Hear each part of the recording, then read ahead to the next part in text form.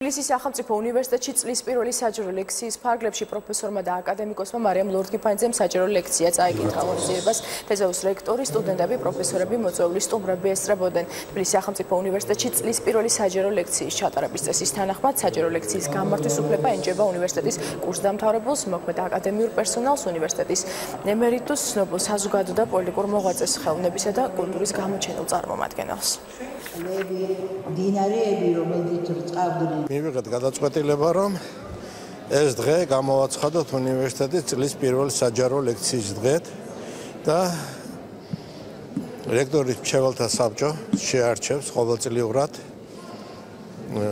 უნივერსიტეტელს რომელიც წაიკითხავს ამ ლექციას. მინდოდა ზოგიერთი ფაქტორი წამომეწია წინ. რამ შეგვიწყო ხელი ამ გადარჩენაში?